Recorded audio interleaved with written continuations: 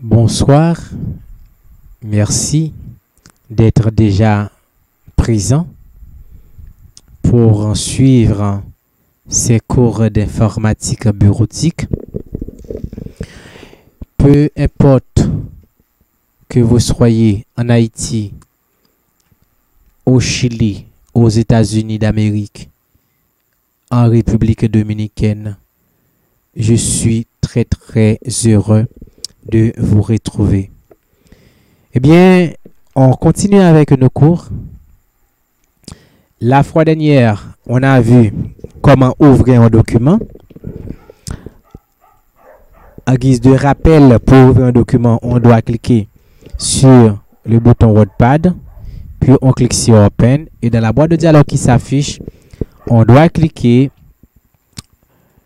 dans la partie Organize, là où se trouve le document, puis on recherche le document. Mais avant d'aller plus loin, je vais montrer une autre manière.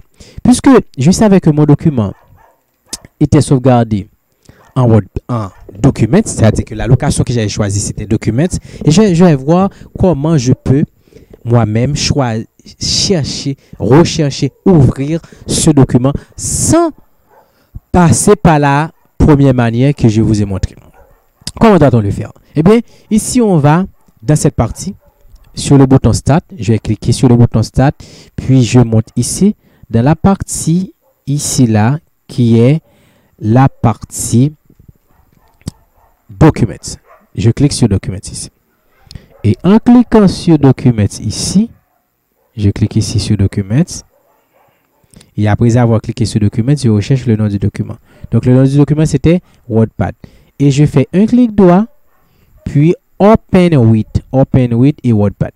Pourquoi je n'ai pas double-cliqué sur WordPad C'est parce que lorsqu'on a sauvegardé un document sur WordPad, je répète, pourquoi je n'ai pas cliqué, je n'ai pas double-cliqué sur WordPad C'est parce que quand on a sauvegardé un document en, sur WordPad, si on doit l'ouvrir, on ne doit pas faire un double-clic. Si on fait un double-clic, le document sera ouvert en Microsoft Word. Donc, retenez ça bien. En ouvrant un document en WordPad, on ne doit pas double-cliquer dessus. Si on fait un double-clic dessus, le document va ouvrir en Microsoft Word. Laisse-moi vous montrer ça. Regardez, je double-clique sur le document. Vous allez voir que ce n'est pas WordPad, mais c'est plutôt Word. Voilà, vous voyez, en lançant, ce n'est pas WordPad. Voilà, voilà. Vous voyez là, ici, ce n'est pas WordPad, c'est plutôt Word. Eh bien, comment doit-on le faire? Pour le faire, on fait un clic droit dessus, sur le document. Puis, dans le menu contextuel, on clique sur Open with, puis WordPad. Et en cliquant sur WordPad, le document s'ouvrir en WordPad. Eh bien, c'est ainsi, comme rappel, eh bien, on va voir notre leçon d'aujourd'hui. On va voir notre leçon d'aujourd'hui qui n'est pas sauvegardée en WordPad. C'est un autre qu'on va voir, c'est notre leçon qu'on va voir. Eh bien, cette leçon-là concerne formater en WordPad. Comment peut-on formater en WordPad un texte? Lorsqu'on parle de formatage d'un texte en WordPad, d'un document WordPad, cela concerne un, la police de caractère, c'est-à-dire que le font. Deuxièmement, cela concerne la size la taille du document, le grosseur des textes, hein, c'est la taille du document. Cela concerne aussi les couleurs, les styles des textes, des caractères, les styles des polices. C'est-à-dire que la police caractère peut être gras, italique, underline ou en soulignement. Et eh bien, on va voir comment peut-on sauvegarder. Je rappelle, je répète, le formatage d'un texte concerne la police de caractère ou font, size du document ou taille et couleur ainsi que les styles du document qui c'est gras, bol, underline, soulignement ou italique. Eh bien, on va voir comment peut-on sauvegarder, alors pas sauvegarder mon Dieu, je m'excuse, comment peut-on formater un texte en WordPad. Eh bien, on dit ici, il y a beaucoup de choses qu'on peut faire en WordPad il y a beaucoup de choses qu'on peut faire en formatant un texte en WordPad qu'en Notepad. Vous avez vu, Notepad, il n'y avait pas trop de grandes choses à faire. Mais tandis que WordPad donne beaucoup plus de possibilités en formatant un texte. Mais la première chose à faire, il faut sélectionner le texte. Il faut sélectionner le texte. Et la deuxième chose, c'est cliquer sur le menu Home, puis dans la partie police ou bien font, on choisit la police désirée ou bien la police caractère qu'on veut mettre. Eh bien, on va le faire pratiquement. On va le faire pratiquement. On va le faire pratiquement ici. On va le faire pratiquement. On va le faire pratiquement ici. Donc, pour le faire pratiquement, c'est ici. Donc, ici, je vais... Ici, là. Eh bien, voilà cette partie. On va sélectionner ça. On va sélectionner ça. On va justement sélectionner cette partie-là pour pouvoir pour pouvoir et comme je dirais tout à l'heure, pour pouvoir et formater ce texte. On va le sauvegarder. On va sélectionner ça pour pouvoir, comme je viens de vous dire, formater ce texte. Mais là, on sélectionne cette première ligne. On sélectionne cette première ligne là. On sélectionne la première ligne. On sélectionne la première ligne ici. Donc, pour sélectionner, je rappelle, il faut cliquer au commencement du texte ou à la fin. Si je clique ici au commencement du texte, je dois draguer dessus. Draguer, ça veut dire que on, je clique et je maintiens le clic et je marche la souris sur le texte. Si je clique à la fin du texte, c'est toujours la même chose. Je clique à la fin du texte et je maintiens le clic enfoncé et je sors de la droite vers la gauche sur le texte. Vous voyez? Donc, le texte est sélectionné. On dit sélectionner, activer ou bien mettre en surbrillance. Si on entend quelqu'un qui parle en disant qu'il va mettre un texte en surbrillance, c'est toujours la même chose. C'est toujours activé.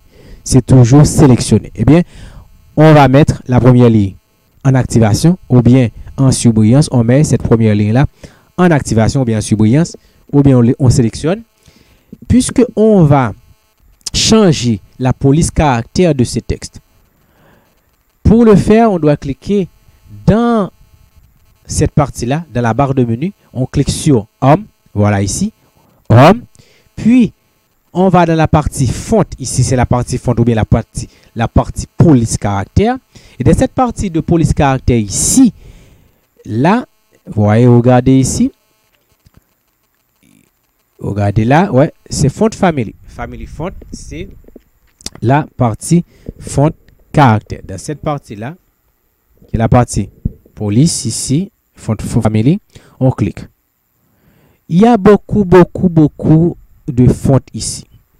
Et tous les fonts sont en ordre alphabétique. Les fontes ou bien les polices de caractère sont en ordre alphabétique, c'est-à-dire ça commence de A jusqu'à Z. Par exemple, on doit draguer cette barre ou bien cet ascenseur vertical pour rechercher le texte qu'on veut. Par exemple ici, si je prends algérien, voilà, si je prends algérien, voilà, la première partie que j'avais sélectionnée, que j'avais mis en surbrillance, vous voyez, voilà la première ligne. Vous voyez là ici la première ligne. Donc la première ligne est en algérien. Maintenant, la première ligne est en algérien. Je vais sélectionner ces deux mots et je vais changer ça encore. Je vais dans, vous voyez, menu, partie font, puis font famille ici. Je vais chercher une autre forme caractère. Vous voyez ici? Voyez, si je prends ça, voilà comment sera mon texte, voilà comment sera les mots. Vous voyez? Donc, ça, c'est de la manière qu'on peut changer la police caractère dans un document. Première chose à faire, il faut sélectionner le, la partie, il faut sélectionner la ligne, le paragraphe qu'on veut changer sa police caractère ou bien qu'on veut changer son font. Par exemple, ici, je sélectionne cliquant Et je vais dans la partie font ici. Puis je cherche. Ils sont en ordre alphabétique. Ça, c'est la première partie. Ou bien, si je vais ici là, je peux, si je connais le nom de la police caractère que je recherche, ou bien de la, du fond de caractère, par exemple, le premier chose à, la première chose à faire, c'est de taper la première lettre de la police caractère que je cherche. Que je recherche. Par exemple, je vais rechercher et cette police caractère qui a pour nom All English. All English, je tape O, puisque ça commence par O. O, je presse O, puisqu'ils sont en ordre alphabétique, je presse O, puisque c'est en ordre alphabétique, je presse O. Old, All English text. Why? Donc, je, je presse sur mon clavier, ici sur mon clavier, ici, je presse Enter sur mon clavier. Et voilà. Why? C'est en All English. Voilà. All English text. Je laisse-moi le refaire à nouveau. Je sélectionne ça. Puis, je vais dans la partie fond de caractère. Je tape le nom de la police caractère qui c'est All English. O, L, D. Et voilà. Ça apparaît. Et je presse Enter. Voilà. Donc, c'est un All English text. Vous voyez comment peut-on mettre ou bien changer la police caractère d'un texte, d'une paragraphe, d'une ligne ou tout le document?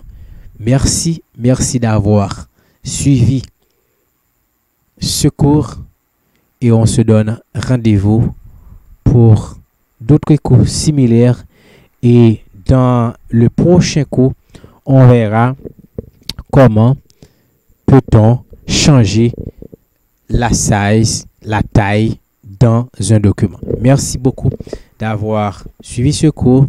N'oublie pas de le partager avec d'autres et on se donne rendez-vous pour la prochaine fois. Merci beaucoup et au revoir.